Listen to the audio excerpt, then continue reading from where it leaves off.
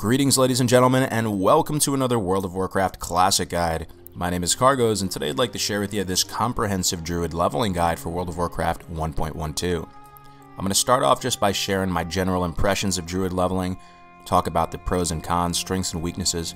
Then we're going to move into quality of life and rotation at the different leveling brackets, so 1 to 10, 10 to 20, 20 to 30, so on and so forth. Then we're going to move into talent builds, uh, because druids are a hybrid class, there are a ton of options on the table for you, and what you choose is going to depend on kind of your goals in the game, whether you want to maybe do a little more healing on the way to 60, or if you're just trying to, uh, you know, speed level as hyper efficiently as possible. I've also included some noteworthy uh, pieces of gear you might want to consider uh, as you level. Druids overall are very gear independent, but it's stuff that you might want to keep in mind. We're going to go over tips and tricks, um, lots of really interesting stuff in this one, so let's get going. Uh, I gotta quickly shout out the people that helped make this guide possible. Um, for those of you who don't know, druids are one of the most underrepresented and underestimated classes in the game. They are subject to a lot of stigma. The whole, you know, jack of all trades, master of none comes to mind. Also, the whole hybrid tax. Um, they're made to feel like they're not viable. And people have rallied around this underdog mentality, and there's a lot of really passionate druid enthusiasts in the community. People like Mobia, Scylla, Skepticon, Unusual, Keftank, Tailspinner, Serendipities, Taladrill, and of course Shado. And these some of these people that you're seeing right here were invaluable to helping create this guide. Uh, the whole you know Druid Classic Discord was really fantastic, and um, you know these are people that you know, actually crunch the numbers and try and push druids to the absolute maximum potential. And uh, they've really come up with some um, some really valuable information. So let's get started.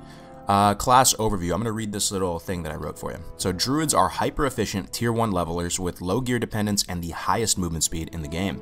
Druids have excellent starting area progression in a fresh realm environment due to the reduced congestion of both Mulgore and Teldrassil. At level 10, druids get a big power spike through bear form, allowing them to kill faster and with higher sustain. Druids get cat form at level 20, and soon after, 2 out of 2 improved cat form, or uh, feline swiftness is the, uh, is the actual name, uh, giving them an astounding 30% static movement speed increase when outdoors. This speed is incredibly valuable early on, and when paired with the ability to self-heal and prowl and go into bear form when necessary, it just offers druids so many advantages that no other class have. Druids are capable of competently performing as a tank, DPS, or healer throughout the entirety of the leveling process.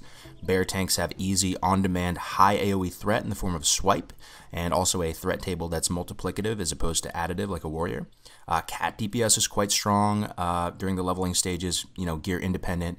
Uh, they offer great group utility in the form of a combat res, uh, off heals, off tanking, um, and so on and so forth. As healers, druids are best utilized alongside another member of the party that can freely resurrect, as they are restricted to a a resurrection on a cooldown called Rebirth. It's, it's the combat res that requires a reagent.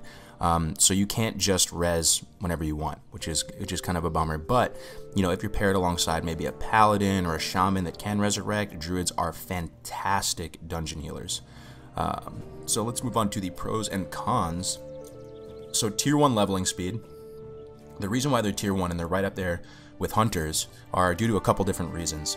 Um, and we've seen this, you know, we've seen this through all through some of the private servers in the past, how, how fast druids can level. You know, we've seen druids uh, four days played, and, and, you know, even, even server firsting, beating out hunters, server first druids. It's a very real thing. So, not only do they have the highest movement speed in the game, and it comes online really early, they have that really good starting area progression. You know, everybody is you know running around like headless chickens in the Valley of Trials and Elwynn Forest. They're able to get ahead of the pack, starting at you know starting on pre-level 10 and then their movement speed comes online so early with the cats with the with the uh, feline swiftness that they're able to conti continue that snowball. And if you really know what you're doing when it comes to questing, this movement speed is going to translate into a lot of value. And uh, the other main thing is that they're gear independent. So weapons for druids are just stat sticks. The top end, the damage range, the DPS, it doesn't really matter for druids because you have these animal forms and your damage is going to be, um, you know, based on your animal form. So you know this is this is very different from classes like rogues, paladins, shamans, warriors. These uh, melee classes that it's a big priority for them to keep their, we their weapon relevant. And while war warriors are trying to find groups to go get their whirlwind axe, or rogues are trying to get cruel barb, or or whatever these classes are doing, druids are just going. They're going, they're going, they're going with high movement speed and no downtime. And the other aspect of why they have no downtime, which we'll talk more about in a second, is your mana continues to regenerate while you're in animal form, even though you're using animal form abilities. And the reason is you're using either energy-based abilities in cat form or rage-based abilities in bear form. So we'll talk about the, the, the, flow of combat, but you know, because your mana is regenerating and you still get to use abilities, you, you're, you're just able to continue the uh, infinite value loop and heal yourself, go back to animal form, but we'll talk about in, that in a second. So amazing questers, low gear dependence, high sustain, strong self-healing, decent crowd control, can tank DPS or heal, can stealth, the uh, different forms and skills you have offer a very fun, rewarding, dynamic gameplay. Um, hard to kill out in open world PvP, druids are the de facto flag carriers in Warsong Gulch. They're very hard to lock down and kill. The cons is they have a slowish start from 1 to 10. Uh, the, the kill speed single target tends to slow down in the in the in the. I think it slows down for pretty much every class though, but um, I definitely felt it more on a druid. Uh, and the subpar grinding efficiency. I, not this is not to say that druids are by any means uh, bad at grinding. They have the they they can really sustain indefinitely. But if I were to compare druids to the other kind of tier one, tier two levelers when it comes to pure grinding efficiency, they are going to fall behind. So, you know, warlocks, you're able to juggle three, four, three, four mobs at the same time, dotting stuff, you know, making your pet transition to the next target, um, you know, just you know, being really proactive and lining up your next kill before the first one's even dead. Druids are still very much single target killers. Same thing with hunters. So if I had to, you know, grind for three hours straight, a warlock or a hunter is going to pull ahead of a druid, and even a mage with AoE grinding. So, but druids, when it comes to questing, badass. Alright, so no regular resurrection. General leveling tips, I'm not going to talk about this so much. I got some feedback that this is kind of boring. I talk about this in every class leveling guide. Um, th there is a link to the presentation down in the description below and pinned in the comments, so feel free to come in here and take a look at this type of stuff. Um, the only one I guess I'll talk about is push the limits of your combat efficiency. This is going to be very important with druids um, because you're going to have to manage your health and mana, and you're going to have stuff like power shifting, and you're going to, we'll talk about it in a second, but um, yeah, take a look at these general leveling tips. Leveling speed equation, you know, your leveling speed is going to be the sum total of your in combat time, out of combat time, travel time. So view all three of these equally. Um, okay, so Druid combat. Let me kind of just go through the general flow of Druid combat. So you're in caster form, you know, you buffed yourself up, and you wanna you wanna kill some mobs efficiently, right? So the first thing you do is you spend your mana in a burst, you know, front loading your your spells, you know, instead of staggering them out, and you're gonna spend your mana on something productive. Now that could be, you know, direct damage in the form of a Wrath followed by a Moonfire, something like that. That could be rolling a couple hots on yourself, like using Regrowth and Rejuvenation. That could just be rebuffing yourself if your Thorns is about to fall off. Spend your mana um, so that when you swap into animal form, you're going to continue to get value from your mana regeneration, um, and it's not just gonna, you're not going to be sitting at full full resources, right?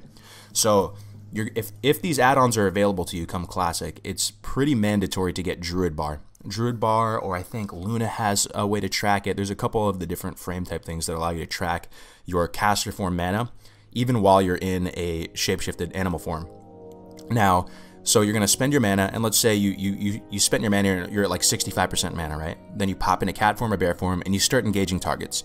You're gonna kill maybe two, three, and then your mana is gonna be approaching 100%, 100% again. Now you don't want to be sitting there with 100% resources, right? So at this point, um, even if you're not low, it's ideal to pop back out to caster form and then again spend that mana on something productive, translate it into more aggressive damage on the next mob or healing yourself or whatever. And you're going to kind of rinse and repeat. So you're just shifting in and out of animal forms, um, keeping that infinite value loop going. So we talked about the highest movement speed in the game with druids, right? You have travel form, you have uh, cat form with uh, feline swiftness. So that's you know a 30% increased movement speed in one form, 40% in another one, and then at level 40 you get apprentice riding. This is the um, this is where you get your 60% speed mount. So when is it going to be more efficient to ride your 60% mount to your next objective versus using travel form or cat form? Now this is something that you know is interesting, you know, because you're dealing with you know 30% versus 60%, 40% versus 60%. The answer might surprise you. So there's a three second cast time when you decide to mount up, right? And then you get the increased movement speed. So if you plan to ride for 20 seconds, 21 seconds or longer upon finishing your three second mounted cast time, you should you should use your mount. But that's a long time, guys. That's a long time. So it's a 20 it's basically 24 seconds total. If you're going to travel somewhere and it's likely going to take less than 24 seconds, like 15 seconds or something, it's actually more optimal to go from point A to point B in travel form. And then the breaking point is a bit lower with cat, but uh, it's it's interesting to uh, think about. And those, those those values are courtesy of Mobia and the Druid Classic Discord. Very smart guy. All right, Druid specific tips. I'm not going to go through all of these, just a couple pages of them, but one that I'm going to point out is Teleport Moonglade. So mages, um, contrary to many people's opinion, uh, aren't the only ones that can teleport in Classic WoW. Druids actually have a spell called Teleport Moonglade. You get it very early on, and it is really, really such a nice amenity to have. Now, it allows you to, it, it kind of offers you a second Hearthstone. So what you can do as a druid is when you're out leveling, you can set your Hearthstone to wherever you're leveling at. Let's say you're in Stonetalon, you want to set it at that lodge. And then when you need to go back to a major city to go to a profession trainer or visit the auction house or train some skills, you can use Teleport Moonglade, train all your druid skills in Moonglade, and then fly to Thunder Bluff or whatever, and uh, and then visit that uh, visit whoever you need to visit, and then you know then you're good to go. So that's that's really going to be valuable for you and another reason why druids can level so fast. Um, so we talked about the mana regen in cat form. So shifting into a form counts as a spell, which will affect your mana regeneration, where shifting out does not. Uh, be sure to save any uh, pieces with intellect or spirit. It could be cloth, it could be whatever as you're leveling, because it's always it's always nice to have a healing set handy. Also, you know, this is more so the case with other classes that struggle with sustain, but swapping back and forth into a, a uh, spirit set can um, help boost that out of combat time. Um, let's see. Yep, that's pretty much it for the Druid specific tip. So useful add-ons, Druid bar, that's what it looks like. Um, that blue bar up at the top left, it's kind of a movable little mana bar that keeps track of your current mana. Um, then if you look down below, there's an energy tracker. This is going to be important. Rogues use this, uh, you know, ferals use this. It's, you know, energy ticks every two seconds, right? So knowing when your resources are going to regenerate is going to be valuable for you. Even stuff like getting value out of Tiger's Fury, you generally want to use it right before an energy tick. Um, it's very it's very valuable to track this information. Also, XP per hour tracker. You can track you know your XP per minute, XP per hour, average XP per kill. Insights like that are pretty useful. And uh, Outfitter to uh, swap back and forth gear pieces. All right, so life pre level 10 is uh, is kind of mediocre. Sorry, let me take a sip of this coffee. It's nothing to um write home to mom about. So, you know, it's uh you're gonna you're you're you're you're gonna front load some spells. It's gonna be you're gonna cast wraths pretty much until the mob closes the distance with you, and then you can do a little trick here that will help squeeze out a little bit more damage. You can melee the mob once it's up in your melee hitbox, melee it, and as soon as your swing timer completes and the animation connects, you can instantly cast an instant cast, so Moonfire or Rejuve, and this will only this will only delay your next your next auto attack by like 0.1 or 0.2 seconds. So it's really going going to um, you know not really have any downside at all. So you're squeezing in an ability between the cooldown and your and your attack timer, and then you're gonna just proceed to uh, melee the mob to death with your staff or whatever, and uh, get some mana regeneration going again via the five second. Um, five second rule. The multi-target rotation, one thing that might happen to you as you're out in the open world is let's say you're in Mulgore, right? And you got to go in that cave and kill those Venture guys, the Venture Co. guys. They're, they can be, there's pretty high mob density there, right? So you may pull too many mobs. And the ultimate, like, maximum DPM, damage per mana thing you can do to attrition out mobs and survive through that engagement is going to be to convert all your mana into heals and let uh, thorns, your reflect damage with thorns, kill stuff in addition to your melee attacks. So what you're going to do is if you have two, three mobs on you, you're going to spend your mana in bursts, you know, to heal yourself. You're going to wait till you get a little bit low, heal yourself, get sufficient value out of your heals, and then proceed to melee the mobs down, trying to get a few more ticks maybe after the five seconds of your mana regeneration, and then rinse and repeat. And uh, that's like the most efficient way to attrition out a mob. Now, if you're pulling two targets at once, one thing you can do is you can just cast that Entangling Roots on one. There's no diminishing returns on Entangling Roots out on mobs in the open world, so they're going to be rooted in place. The second one will probably start headed to you, start heading to you. You can cast a Wrath and do the whole uh, melee Moonfire trick. Um, so you guys get the picture. So then at level 10, you're going to get access to your bear form quest. Now, I've included two slides here, one for Alliance Bear Form quest and one for Horde Bear Form quest. The, uh, the main thing I'd like to point out is that after you pick up the quest from Kal the Druid Trainer in Dolanaar or Gennia Runetotem, um, go to Thunder Bluff or Darnassus and set your Hearthstone there because they're going to make you go to Moonglade, talk to this guy Dendray, you're going to talk to the Great Bear Spirit, and then you're going to have to go back to TB or Darnassus, and uh, you'll, if you didn't set your Hearth there, you're, gonna, you're in for a long flight. So make sure to do that. Hearth back, they'll send you to go kill a Moonkin.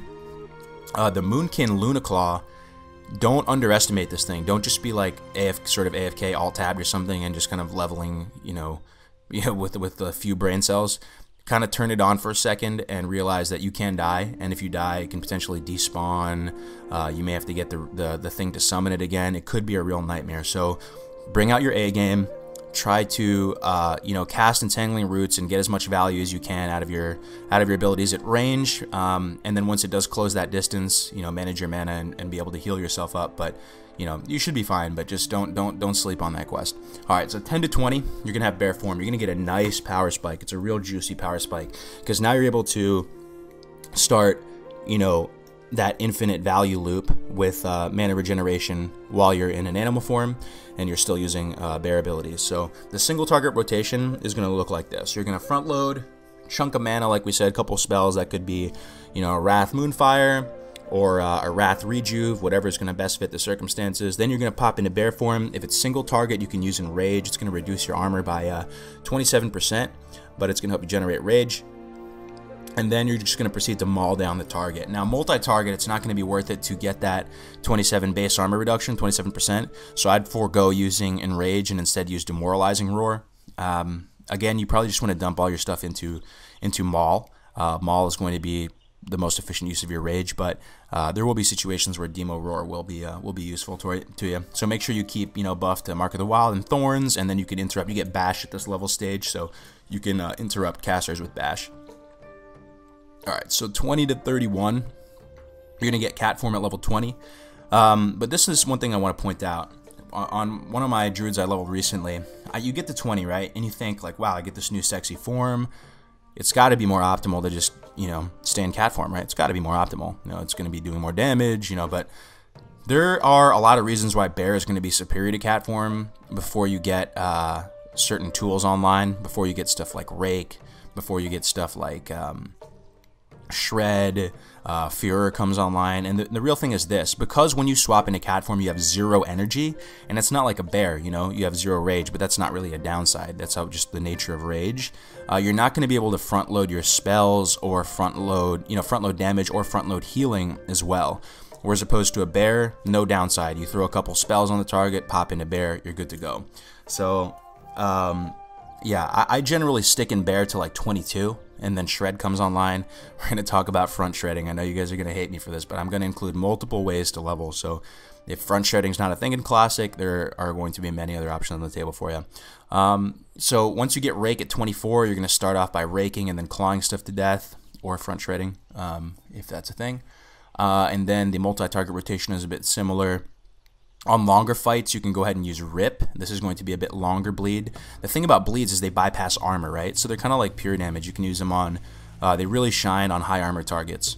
So it's something you want to keep in mind. And then if you have excess energy, it's not really that useful on the first um, on the first mob to use Tiger's Fury because uh, you will be front loading some spells or something like that.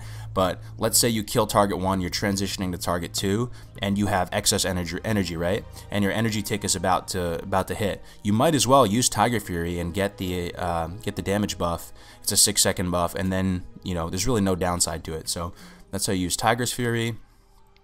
Uh, you get dash, you can use that on cooldown when you know you're going to get full value from it, and you get travel form at 30. So let's see. So you can get 5 out of 5 Furor at uh, at level 27.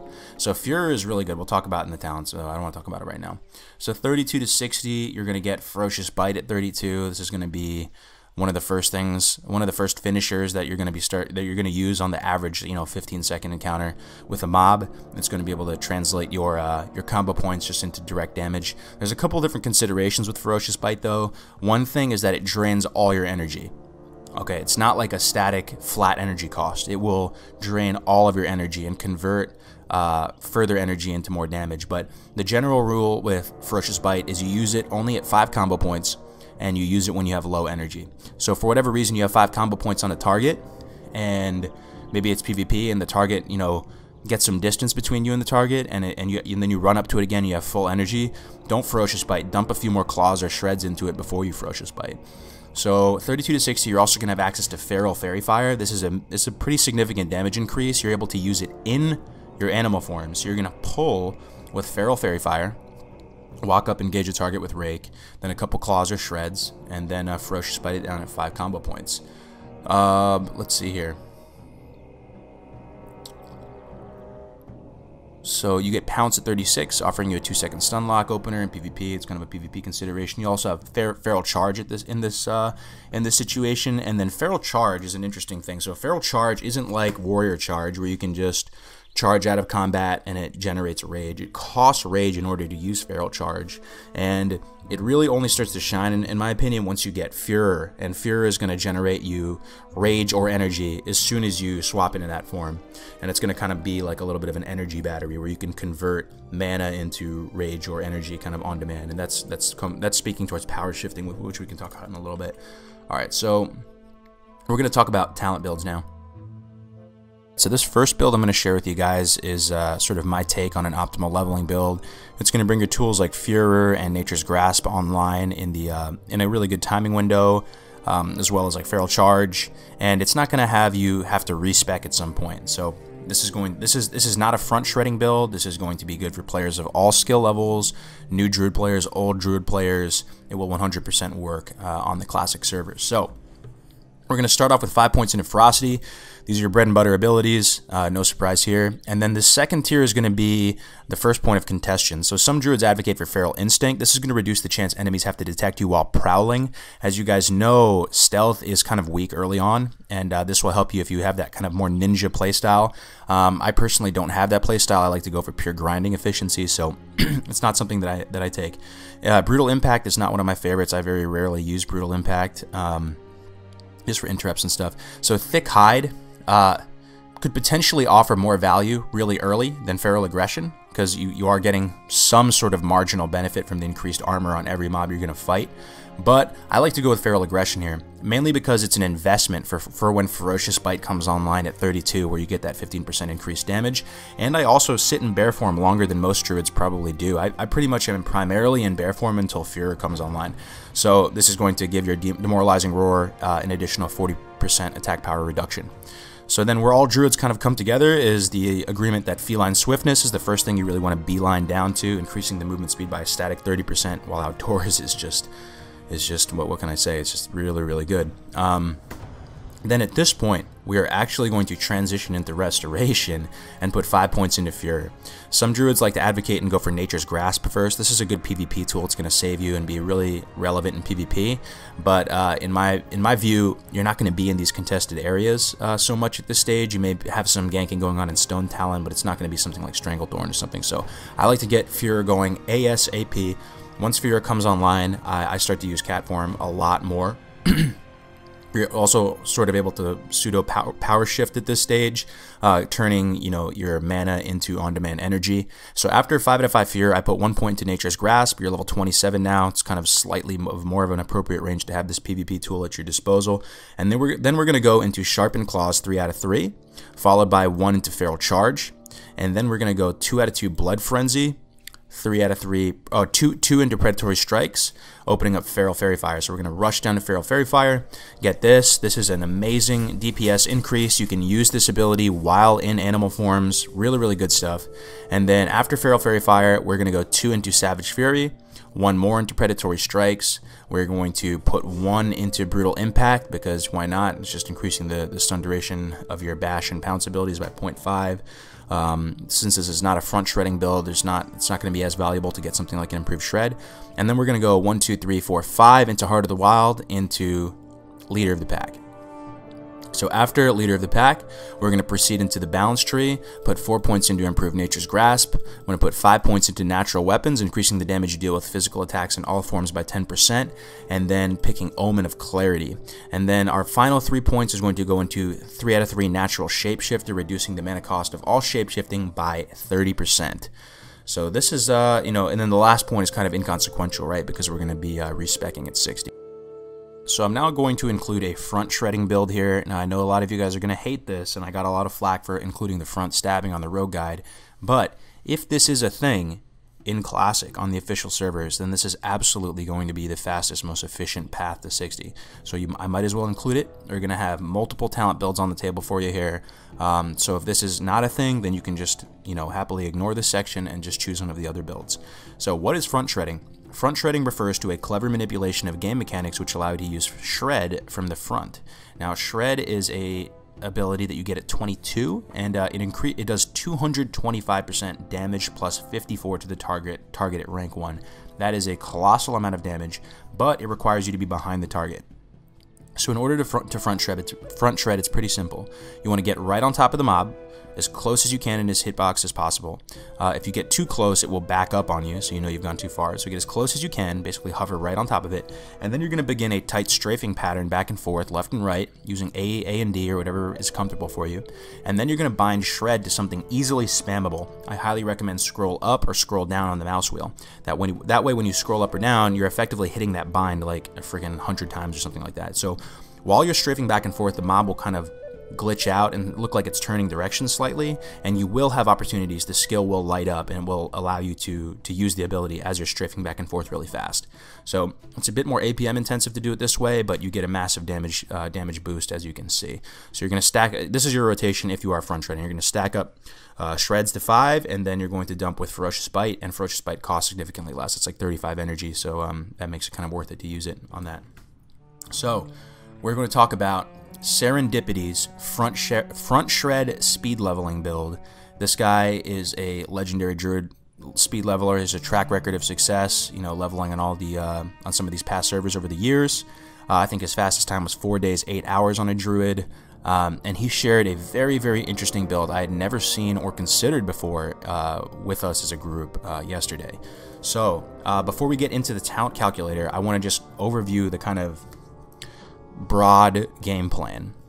So from 10 to 19, you are going to start in balance, as crazy as that seems. But the reason why you're going to start in balance is the course assumption that the 5 out of 5 uh, natural weapons, which will give you a static 10% damage increase, is going to be more val valuable than anything that the early feral talents are going to offer you. And I think it's a fair assumption to make. You know, it's going to be more valuable than the the rage reduction in Maul. That's really the only value you're going to get out of it at this stage, um, or the attack power reduction in Demoralizing Roar. So that's kind of a fair assumption to make. And then you're going to respec at 20. So I'm going to show you what the respec looks like, and then we're going to proceed in the talent calculator. So from 10 to 19, you're going to go, you know, 1 into Nature's Grasp, 4 into Improved Nature's Grasp, and then 5 into Natural Weapons. It's going to bring you to level 19. So at 20, you're going to respec, and it's going to look something like this. The uh, order of operations doesn't matter so much because we are respecing. It's going to be 5 into Ferocity, and then 5 into Thick Hide, and 1 into Feline Swiftness. So this is your level 20 point. We're going to proceed through the tree like this. You're going to put one more point into Feline Swiftness, and then we're going to go uh, 3 into Sharpened Claws, then we're going to go 2 into Improved Shred. This is really important to just beeline it down to Improved Shred as fast as possible since we're using this every global. And then after Improved Shred, we're going to go 3 into Predatory Strikes, opening up Fer Feral Faerie Fire at level 30. Now at this point, the next assumption we're going to make is that these other talents aren't going to be that helpful if we are, are, if we are doing a front shredding build, increasing the damage caused by your claw, rake, maul swipe. You're not using these if you're front shredding, you know? You're not really, you know, blood frenzy is not going to benefit you that much. Primal fury is kind of a non-factor. Brutal impact, you know, what, what is this stuff really going to do for you if you're just shredding all the time? So at this point, we're actually going to proceed back into the balance tree and beeline it down to natural weapons and omen of clarity, which really shines with shred. So we're going to go uh, 1 into Nature's Grasp, 4 into Improved Nature's Grasp, uh, 5 into Natural Weapons, and 1 into Omen of Clarity. Now at this point, we're going to transition into the Restoration tree, and we're going to start to bring on our Power Shifting package online. And it's going to be 5 points into Furor, followed by 3 points into Natural Shapeshifter, which have a lot of synergy with each other. So you know, you have Furor, which is going to give you that 100% chance to gain 10 rage or 40 energy when you shift into animal form, and you have something that's reducing the mana cost of your shapeshifting by 30%. So it's going to make it, you know, a better equation with your DPE and DPM to to to power shift. The power shifting is going to become stronger with this online. So at this point, we're going to proceed back into the Feral Combat tree. We're going to go two points into Savage Fury. We're going to go two points into Blood Frenzy. We're going to go five points into Heart of the Wild, uh, and one point into Leader of the Pack. And the last point is going to be kind of inconsequential, as we said before, as we're going to respec at 60 regardless. So we're back to the fun PowerPoint now. Uh, one of the key takeaways here is that no matter what spec you're going to go, if you really want to kind of min-max out the leveling speed from 10 to 19, I'm sort of aligned with Serendipities and going balance and then respecking at 20. Now that's not going to, you know, whatever this this is going to apply to whatever direction you want to go. If you want to get a slightly higher speed from 10 to 19, I probably would agree with him in going balance. All right, so now we're the next spec we're going to talk about is Taladril's Feral Balance spec. This is going to be pretty similar to the spec that uh, that I shared. I'm not going to go through the talent calculator on all these builds because there are a bunch of them to share, but I'm going to point out some of the core differences. So basically, instead of going Feral Aggression, which is going to reduce that uh, demoralizing roar AP, or increase the, the reduction rather, and that Ferocious Bite investment, he goes right into 5, 5 out of 5 Feral Instinct after 5 out of 5 Ferocity. That's going to give you better, better stealth and allow you to have that more ninja type playstyle. Then he goes Nature's Grasp, uh, followed by Furor. So I, I, go Furor into Nature's Grasp. So that's another core difference. Um, and then it is it is pretty straightforward. The other the other difference is that instead of going for Natural Shapeshifter towards the very tail end of the leveling experience, he goes into three out of three Improved Thorns, which is a line of reasoning I definitely can understand because it's just going to be more damage. You're going to get consistent value out of Improved Thorns. Um, because uh, he, he, his impression was that you don't really have too many mana issues as a druid um, if you're playing correctly. So that's the difference with Taladril's Feral Balance compared to compared to mine, and then uh, Shadow's Feral Balance. This one I'm not going to go through as well, but I'll point out some of the noteworthy aspects. So he goes one out of one Nature's Grasp first, his very first talent points. So he actually delays the uh, feral the the um, the feline swiftness a little bit by a level. And then he goes right into feral combat, 5 out of 5 ferocity, 2 into brutal impact. As I was saying, some druids do like the brutal impact, increasing that stun duration. 3 out of 5 feral instinct. So again, another druid that doesn't uh, agree with going feral aggression. Uh, then 2 out of 2 feline swiftness and into feral charge. Then he goes furor, um, goes back into feral tree, goes back into the feral tree, proceeds all the way down to leader of the pack, and then goes into balance uh, at the end. So the final build I'm going to share with you guys is something that I, I think will appeal to a lot of people. It's a non-front shredding build, and it's going to be uh, better for people that, that plan to heal and do more, you know, healing, heal, play more of a healing role when it comes to leveling and doing maybe more dungeons and stuff like this. And uh, some of the key differences is that you are going to have access to a Nature's Swiftness, which is going to really sort of increase your healing potential. You're going to get really core healing talents like Reflection, Improved Healing Touch. Um, so we're going to pop over to the talent calculator and go through it. This is called Feral into NS Resto. So we're going to start off pretty similar uh, to some of the other builds, 5 into Ferocity, 5 into Feral Aggression, uh, beelining it right down to Feline Swiftness. Now at this point we're going to go pick up one point in Nature's Grasp because just one point, you're bringing this build, you're bringing this um, this ability online, definitely going to be worth the one point, followed by 5 into Furor in Restoration. And then we're going to bounce back to Feral Combat, pick up Feral Charge, go 3 into Sharpened Claws, 2 into Blood Frenzy, 2 into Predatory Strikes, picking up Feral, Feral Faerie Fire at level 36. Then we're going to go 2 points into Savage Fury, one more point into Predatory Strikes, and we're going to go into Restoration at this point. We're going to do Improved Healing Touch, reducing the cast time of your Healing Touch spell by 0.5 seconds, followed by Reflection. This is another bread and butter healing talent, allowing 15% of your mana regeneration to continue while casting.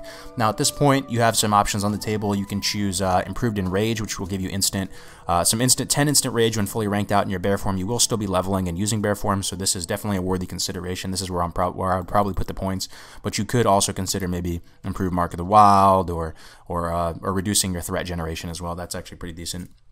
Now at this point, we're going to go 5 into Tranquil Spirit and right into Nature's Swiftness. If you don't know what Nature's Swiftness does, basically it's going to give you an on-demand burst heal. You activate it and then your next Nature spell will become an instant cast. Uh, so after Nature's Swiftness, we can either go back into the Feral Tree right? Or we can get some more talents in restoration. We can get improved rejuve.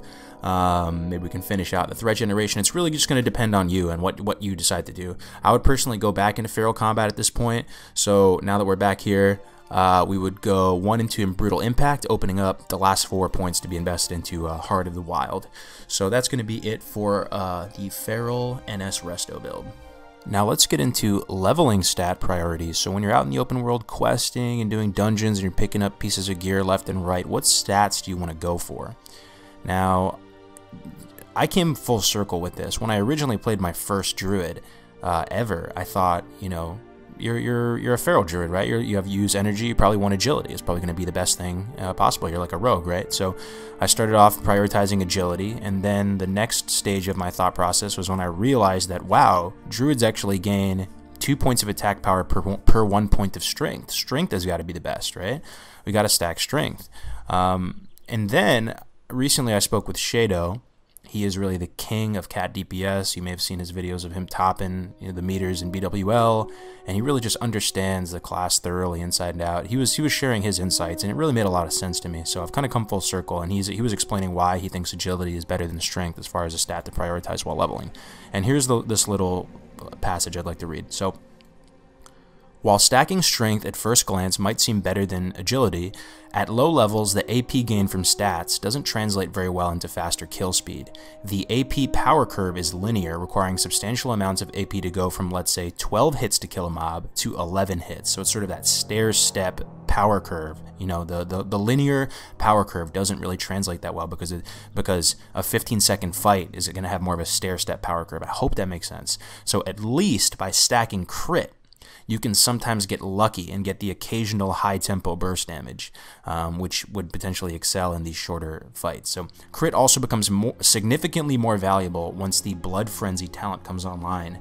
That is the talent in the feral in the feral tree where when you crit in cat form, you will get a uh, additional combo point. So druids get uh, 2 AP per point of strength. You know, 14 AP is equivalent to 7 strength, which is equivalent to uh, 14 agility, which equals 1 DPS. But then, of course, agility adds a crit and dodge as well. 20 agi is equivalent to 1% crit and 1% dodge. Um, so yeah, so it's going to be agility is your number one priority, followed by strength, followed by stamina. Stamina is sort of equal to intellect in some ways. So you can kind of view them equally, just have a good balance between stamina and, and intellect. And then uh, spirit.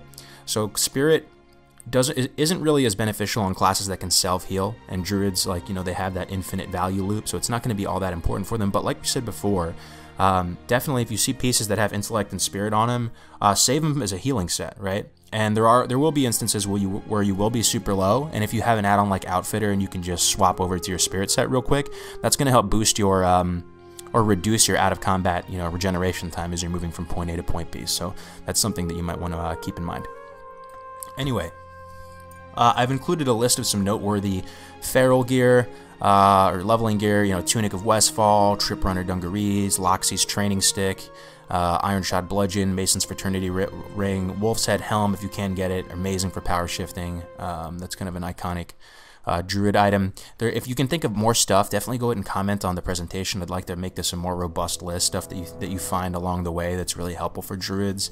Um, again, this is kind of a living document, guys, so I hope we can all kind of come together and, and make this like the best resource it can be for the community. Um, you know, if you do, if you are going to go you know, feral DPS. You're going to go you chase that cat form dream. You can pick up Devilsaur gauntlets and leggings if you have the gold to support it. Uh, first aid, um, if you do decide to get first aid on druid, it's not a super high priority. Here's a slide that shows where to get all your books and uh, get up to 300. And uh, that's it. Closing thoughts. Uh, the only closing thoughts to come to mind is just to really extend a big thank you to you guys. You know, I'm really starting to stream now and come out of my shell a bit, and you guys have been nothing but super kind and uh, supportive. So I really, really, really appreciate it. I never thought in a million years I could even, you know, have this limited amount of success that I'm having right now. So if you have any other questions, feel free come in the Discord, ping me directly. I'll try and get you an answer. If I don't have an answer for you, I'll try and get in contact with someone who can who, who does have an answer for you.